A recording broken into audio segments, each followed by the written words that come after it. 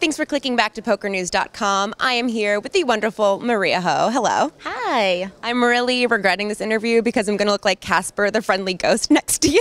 you are very tan. I am very tan. I've been on a, a tanning, poker playing vacation of sorts for like the last month. So, Okay, let me see if I get this right. You've been in Israel, Cabo, Canada, South Africa, now Malta in the last two months. yes, all places that are very sunny and have amazing weather, thus the tan.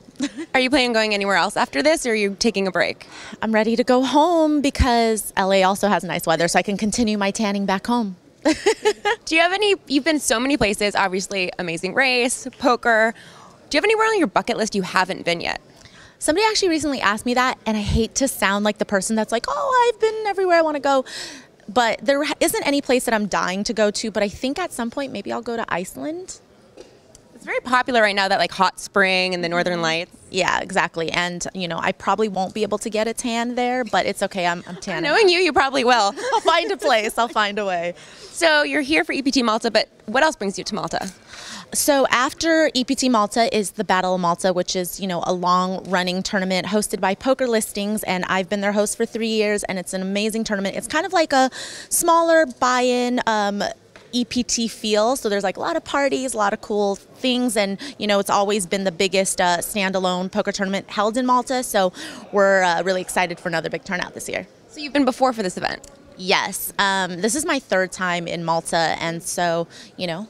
Malta is my like second home now. All of a sudden in Europe. It's a really nice second home. And then finally, you went to TwitchCon. Yes. Tell, I have no idea what that would be like. Tell me a little bit about the atmosphere, the people.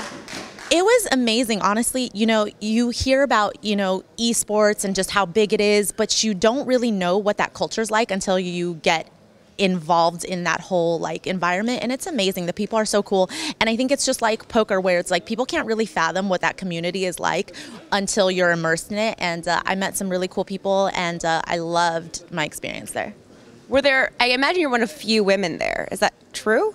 No, actually, what's crazy is I think people might think that, and I thought that too. But when I was there, there were so many women, and there were so many, like, you know, just cool people that weren't just like gamers, but just, you know, they had like day jobs, and this is kind of their escape. So.